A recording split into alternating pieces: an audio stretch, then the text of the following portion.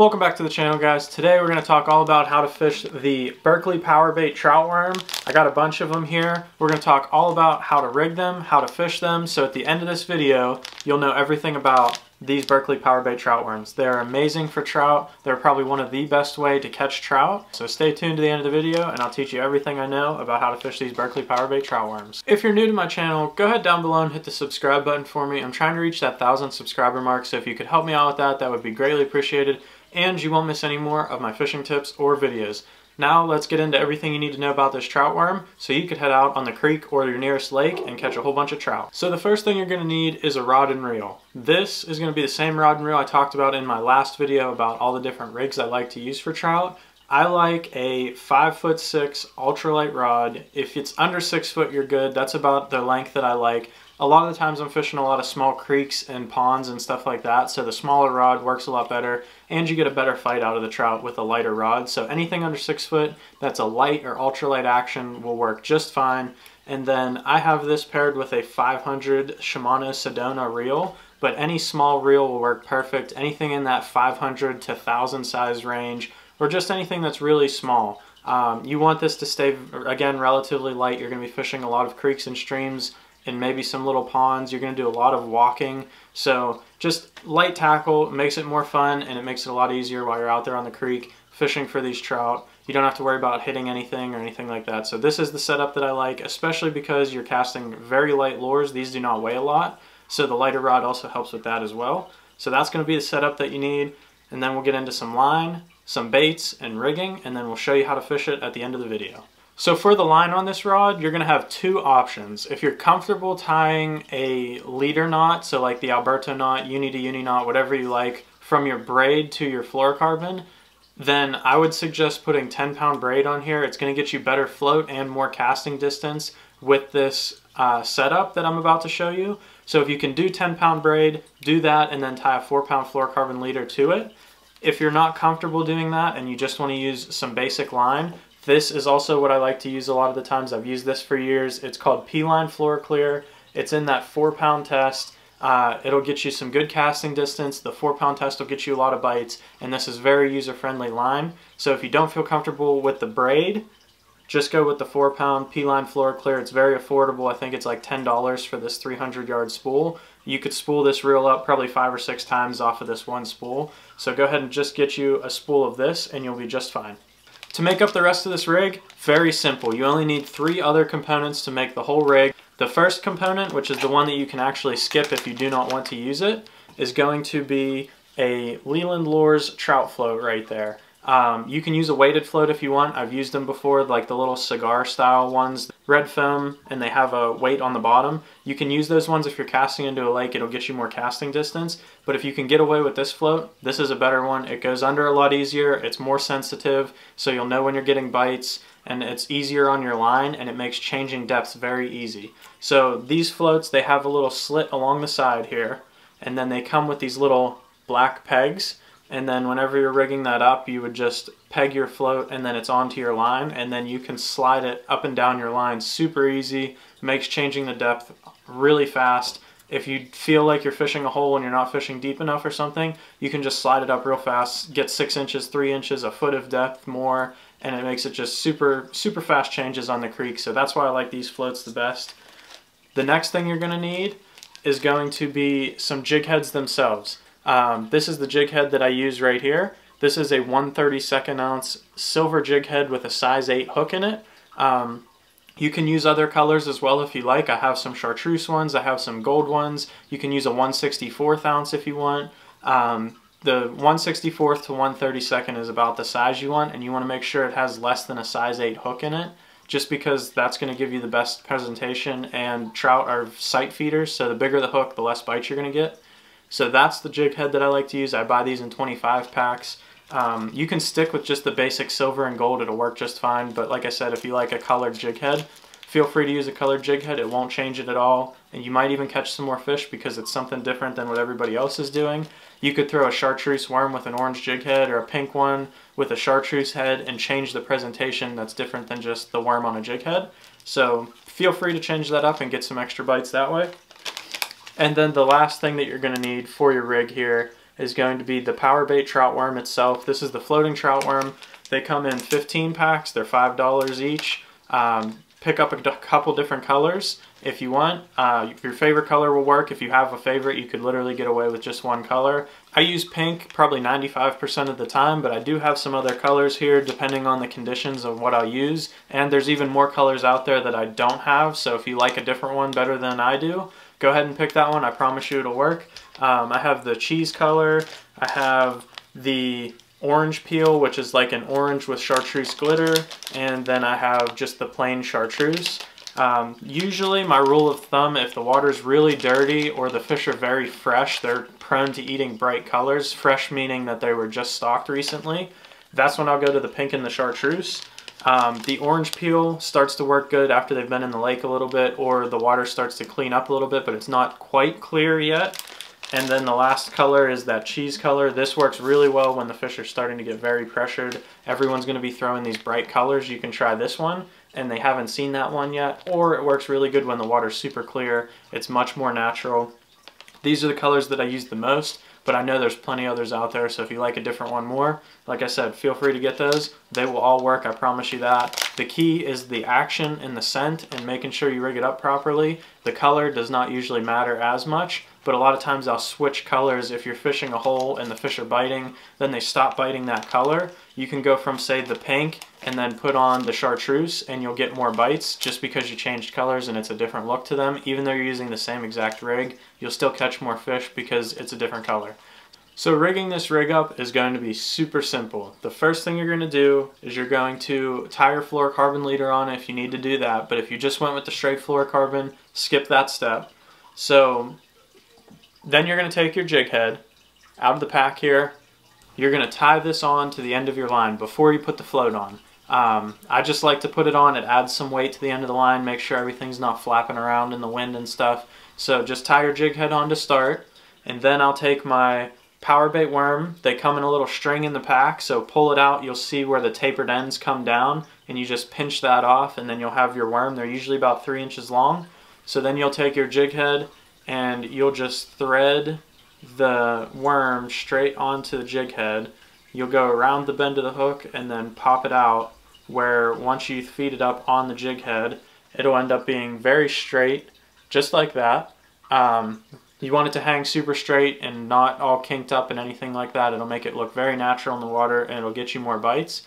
So now that you have the actual power worm rigged up itself, the only other thing to do is put the float on and then you're ready to fish. So I will approach the creek wherever I'm going to fish at and I'll kind of see how deep the water is. So a lot of times you have to guess and check so you can put it on three foot up from your jig head and then you don't hit the bottom. So you move it up to four foot and then you're hitting the bottom too much so then you move it down to three and a half and that's the perfect depth that you need to be at for the fish.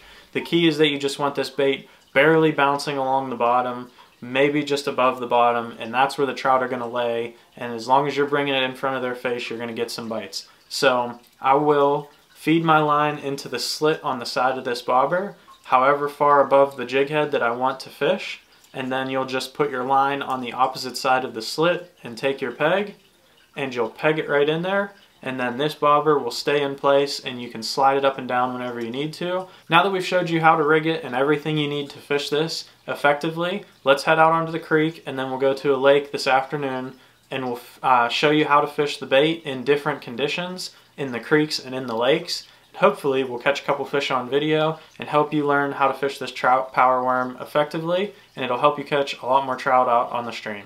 So now that we've talked about how to rig up a power worm, let's talk about how to fish it. There's going to be two ways that I like to fish it, well, two places, either the creeks or in the lakes. So we're at a creek right now. We're going to go to a lake in this afternoon to show you that as well.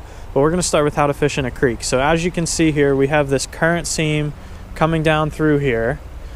In this current seam, there's some fish sitting right in front of me right here. So the first way we're going to do it is with the bobber. We're going to cast up in the current seam and let it drift down through and then maybe give it a couple jigs here and there to give it some action to get them interested. Pick your favorite color, whichever one you want. We're starting with this cheese color. The water's a little bit clear here, so we're going with a more natural color than like a pink or a chartreuse. So we're going to throw it in there and see if we can get a couple bites. So we're just going to cast it out right where the pot of fish is. It's in the current right now, and we're just letting it drift. Give it a couple jigs, and then let it sit and we had a bite, but I missed him. Okay, so we're gonna reel it back in. We're gonna cast it back out there, right where that pot of fish is. Let it sit in the current. Give it a couple jigs. Let it sit. Now we pulled it out of the current that time. So reel it back in, and then you just keep fishing the current seam like that. So we throw it back in that current seam, let it sit, give it a couple jigs. Okay, so what we're gonna do is we're actually gonna lengthen our leader a little bit and try and get it down more to the trout's level. We're only going about six inches. I'm gonna reel it back up. We're gonna throw it right back in that current seam where we've been throwing and let it sink down. Give it some jigs, try and get their attention a lot of times when you jig it like that, it'll get them to look at it, and then when you dead stick it, they'll come and actually eat it. So just a couple, you jig it two or three times, and then just let it flow with the current. Then let it go a little bit, and then jig it two or three more times, and then let it flow with the current until you get them to eat it.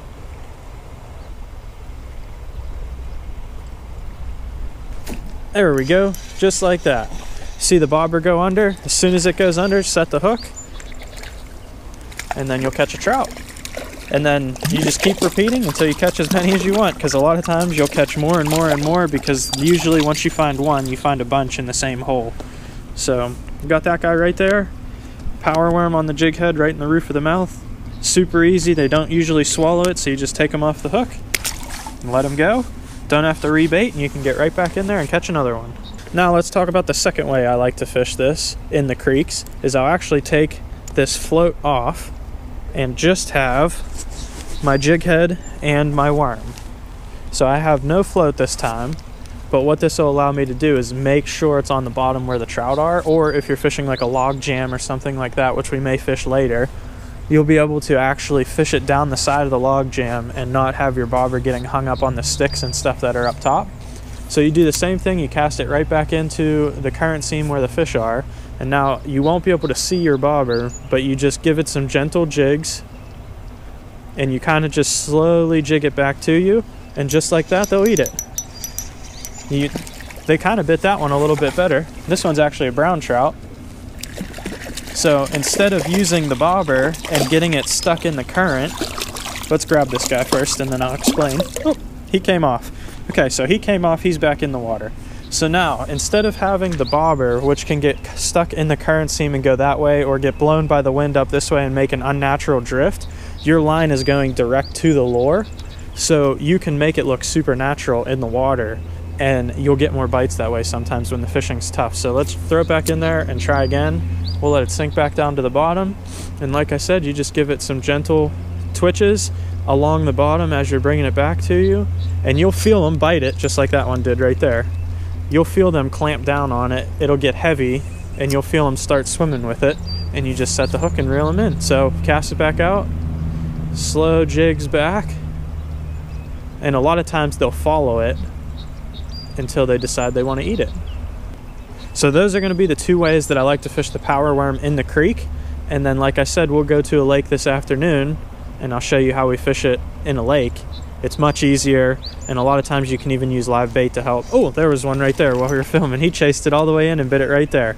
Um, a lot of times you can use live bait to help get more bites. Uh, these are delayed harvest creeks, so you got to make sure your rules allow it. But if you can, you can tip this with a wax worm and you'll get more bites because it has some extra scent and uh, natural presence with the live bait. But we can just use the power worm here, so that's all we're doing. When we go to the lake this afternoon, we'll show you the setup there and we'll catch a bunch of fish hopefully and teach you how to fish power worm in a lake too. Now that we talked about how to fish the power worm in a creek, we're actually on a lake here. They just stocked this one recently using a pink power worm instead of the cheese color or any other color because the water's pretty dirty here. Same float setup, except in a lake, the fish usually like to suspend. So if it's eight foot deep, you still only need your float about three foot down. I usually don't typically go more than like three to four foot below uh, the float to my jig head. And then today we have some wind, so you can cast it out and leave it sit there and just let the wind do the jigging because your float will go up and down with the waves and it'll jig your power worm. Or you can throw it out there and jig it like we did in the creek. So we'll do that right now and see if we can get a couple bites. So I hope you enjoyed that little segment of us fishing it on the creek and out on the lake. The fish in the creek were very cooperative. They were ready to bite and we caught a bunch on film there. Uh, unfortunately, the fish in the lake, they were not very cooperative. We actually didn't catch any. But like I said, in the lake, it's very similar fishing. Cast it out there as far as you can. Keep it suspended up above the fish, maybe three to four foot at most, and just give it little jigs every once in a while and then let it sit until you fish it all the way back to shore or the wind blows it in and then you just make another cast and keep going. Once you catch one, you're around a school of them, so just keep catching as many as you want and they'll keep biting it. And if they stop biting, like I said, just change your colors up and a lot of times you can keep getting bites on the same worm and it's a very effective technique to catch lots of trout. I hope this video helped you learn how to fish this power worm effectively and I hope you head out onto your local creek or lake and catch a whole bunch of trout using some of these tips from this video. If you enjoyed it, make sure you leave a like down below and make sure you subscribe so you don't miss any more of my fishing tips or videos. Thanks for watching.